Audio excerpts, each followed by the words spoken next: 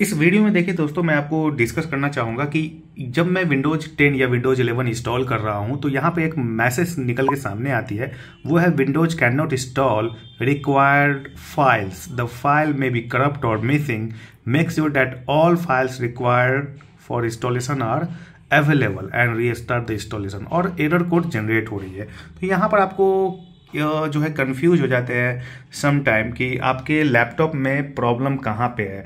क्योंकि आप थक चुके होते हैं, बहुत सारे पेन ड्राइव को चेंज कर कर के चेक करते हैं, लेकिन फिर भी जो है ये आपको प्रॉब्लम आती है। यानी कंप्यूटर के अंदर बार बार विंडोज़ 10 या विंडोज़ 11 का सेटअप चला रहे हैं, लेकिन बार बार ये प्रॉब्लम्स निकल के सामने आती है। तो इसको कैसे फिक्स करेंगे और कैसे आइडेंटिफाई करेंगे कि ये किस चीज़ की प्रॉब्लम है। वैसे मोस्ट ऑफ़ द केस में मैं कहना चाहूँगा कि ये जो आपको पेन ड्राइव होती है, इसी में प्रॉब्लम होती है, क्योंकि इस पेन ड्राइव में जो आप पोर्ट पे लगाते हैं तो आपको चेंज करके देखना चाहिए पोर्ट भी आपको चेंज करने की ज़रूरत है, यानी पेन ड्राइव को निकालिए, दूसरे पोर्ट से लगाइए, दूसरे और तीसरे पोर्ट से लगा के चेक कीजिए, और फिर आपका सेटअप अगर कंटिन्यू होता है तो वेल एंड गुड है।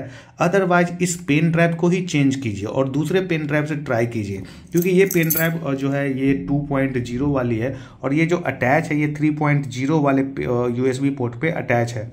तो आपको करने क्या है? आपको 3.0 वाला या 3.1 यूएसबी वाला, जैसा कि आप देख रहे होंगे, यहाँ पर 3.1 यूएसबी लिखी हुई है और सही रूप से काम करने वाले पेन ड्राइव के ऊपर विंडोज़ बूटेबल बनाए और विंडोज़ बूटेबल बना के तब आप दूसरे पेन ड्राइव से कोशिश करें। जैसे कि हमारे केस में, मैं अभी क्या ट्राई करूँगा कि इस पेन ड्राइव को निकाल के इस पेन ड्राइव से 3.1 के ऊपर बूटेबल बनाऊँगा और देन इस लैपटॉप को बूट करवाऊँगा। और तब जो है ये प्रॉब्लम सॉल्व हो सकती है। क्योंकि एक्चुअली क्या होती है कि जो भी रिक्वायर्ड फाइल्स है, ये रिक्वायर्ड फाइल्स इस पेन ड्राइव के ऊपर अवेलेबल है और ये पेन ड्राइव जो है क्रैश है करप्ट है तो वो रिक्वायर्ड फाइल्स के पास जब वो हिट हो रही है तो ये पॉपअप मैसेज निकल के सामने आ रही है।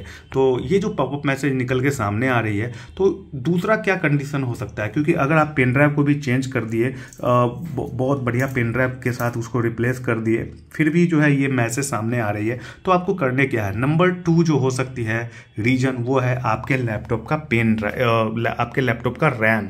यानी आप अपने लैपटॉप में रैम को चेंज करके देखें। रैम को चेंज करने के बाद आपको ये फाइंड आउट करने की ज़रूरत है कि रैम में प्रॉब्लम है या नहीं है? क्योंकि जो रिक्वायर्ड फ़ाइल होती है, वो पेन ड्राइव से ट्रांसफ़र होती है रैम के ऊपर और देन वो हार्ड ड्राइव के ऊपर रीड एंड राइट होती है। तो जो रिक्वायर्ड फ़ाइल आप यहाँ पर देख रहे होंगे, ये रिक्वायर्ड फ़ाइल रैम के वजह से भी हो सकती है। आपको क्या करना है? रैम को निकाल के और फिर से दूसरा रैम आपको लगा के चेक करने है या फिर उसी रैम को सही रूप से क्लीन करें और फिर से अटैच करें अपने डेस्कटॉप या लैपटॉप के ऊपर और तब जाके विंडोज़ के सेटअप को स्टार्ट करें और हो सकता है कि ये प्रॉब्लम सॉल्व हो जाए। यानी यानी दूसरा जो रीजन हो सकता है वो है रैम के ऊपर। लेकिन आप जो है एक अच्छे रैम और एक एक, एक अच्छे पेन ड्राइव के साथ भी अपने इस विंडोज़ बुटेबल को चेक कर लिए हैं लेकिन फिर भी इसके बावजूद भी जो है ये प्रॉब्लम सॉल्व नहीं हो रही है। तो तीसरा जो कंडीशन आता है वो है हार्ड ड्राइव के ऊपर। आपको लैपटॉप के अंदर जो हार्ड ड्राइव लगी हुई होती है उसके ऊपर सक जाती है। लेकिन मोस्ट ऑफ़ द केस में जो जो डिस्क वाली हार्ड ड्राइव होती है। जैसे साटा एस की अगर हम बात करें तो वो अगर डिस्क वाली हार्ड ड्राइव होती है जैसा कि आप समझ सकते हैं कि अभी जो लैपटॉप आ रही है, न्यू वन, वो है लैपटॉप एसएसडी के साथ आती है या एम टू एसएसडी के साथ आती है। तो एसएसडी वाली हार्ड डिस्क अगर लगी हुई होती है तो SSD वाले हार्ड डिस्क में ये प्रॉब्लम शायद ही निकल के सामने आए, क्योंकि SSD वाली हार्ड डिस्क की जो लाइफ है, वो अच्छी होती है कंपेरिजन टू डिस्क वाली हार्ड ड्राइव। क्योंकि डिस्क डिस्क वाली हार्ड ड्राइव में मैकेनिज्म मैकेनिज्म बहुत सारी चीज़ें होती है। डिस्क के ऊपर मेमोरी के ऊपर जो है डेटा रीड एंड राइट होती है। जो डिस्क घूमती है, जैसे सी डी में डिस्क घूमती है तो उस वजह से भी जो है जो डिस्क के ऊपर चांसेज होते हैं कि बहुत सारे ट्रैक और सेक्टर जो है वो करप्ट हो जाते हैं हार्ड ड्राइव के। यानी हार्ड ड्राइव के ऊपर चांसेज जाती है तीसरा रीजन इस प्रॉब्लम को सामने आने का। क्योंकि ये प्रॉब्लम आपको बार बार दोबारा भी अगर आप सेटअप चालू करेंगे स्टार्ट करेंगे तो हो सकता है कि ये सेम प्रॉब्लम आपको देखने को मिले। इसीलिए आपको यहाँ पे तीसरा जो रीजन हो सकता है वो है हार्ड ड्राइव यानी हार्ड ड्राइव को लैपटॉप से निकाले और दूसरा hard drive new one SSD या एम टू एस एस के साथ आप जो है अपने लैपटॉप में अगर एन बी एम लगने वाली स्लॉट है एम टू स्लॉट तो उसके ऊपर भी आप लगा सकते हैं। या साटा एस को आप अपने लैपटॉप में अटैच करें और विंडोज़ सेटअप को स्टार्ट करें। नहीं तो ये प्रॉब्लम बार बार आपको आएगी, जो आपको यहाँ पर दिख रही है। तो उम्मीद करता हूँ कि ये तीनों स्टेप को फॉलो फॉलो करें। सबसे पहले पेन ड्राइव को ही आप रिप्लेस करके चेक करें। सबसे पहले ये पेन ड्राइव को जो है एक दूसरे पोर्ट के ऊपर चेंज करके देखें। मतलब आपको पोर्ट को चेंज करने की ज़रूरत है। दूसरा है कि आ, आपको यही पेन ड्राइव अगर ये काम नहीं कर रही है दूसरे तीसरे पोर्ट पे भी लगा रहे हैं तो पेन ड्राइव चेंज करने की ज़रूरत है new one three point one के साथ। क्योंकि जो भी लैपटॉप आ रही है थ्री पॉइंट वन हो सकती है कि किसी किसी में ये टू पॉइंट वन से भी काम चल जाए। क्योंकि पोर्ट जो है वो मिसमैच होगी 2.1, 3.1 या 3.0 तो ये प्रॉब्लम देखने को मिल सकती है। इसीलिए ज़रूरी नहीं है कि ये पेन ड्राइव क्रैश हो।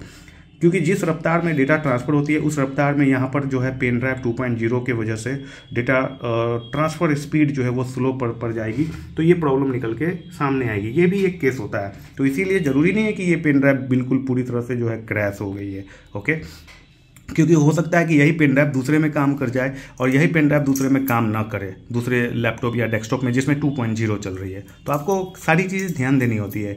यानी दूसरे तीसरे पेन ड्राइव के साथ चेक करें इंस्टॉलेशन वगैरह स्टार्ट करें। दूसरा है कि आपका रैम वगैरह चेंज करके चेक करें स्टार्ट करें इंस्टॉलेशन और तीसरा है कि हार्ड ड्राइव वगैरह चेंज करके चेक करें स्टार्ट करें इंस्टॉलेशन दोस्तों, यही पेन ड्राइव से हमारी जो विंडोज़ इंस्टॉलेशन है, वो पूरी तरह से कंप्लीटली कंप्लीट हो गई है और विंडोज़ अब रीस्टार्ट हो रही है ये स्टार्टिंग फ़ेज़ में है 100 परसेंट इंस्टॉलेशन के बाद same laptop same Windows operating system but यहाँ पर जो पेन ड्राइव है वो चेंज हो गई है और पेन ड्राइव चेंज करते ही विंडोज़ uh, जो है वो सक्सेसफुली इंस्टॉल हो गई है। तो one by one pen drive को चेंज करें पेन ड्राइव के पोर्ट को चेंज करें रैम को चेंज करके चेक करें या रैम को क्लीन करके चेक करें या हार्ड ड्राइव को चेंज करके चेक करें एस और एनवीएमई के साथ। मिलते हैं अगली वीडियो में, तब तक के लिए thank you so much for watching this video और अगर आप कंप्यूटर टेक्निकल बनना चाहते हैं तो computer lab YouTube technical channel को ज़रूर सब्सक्राइब कीजिएगा और वीडियो को लाइक कीजिएगा।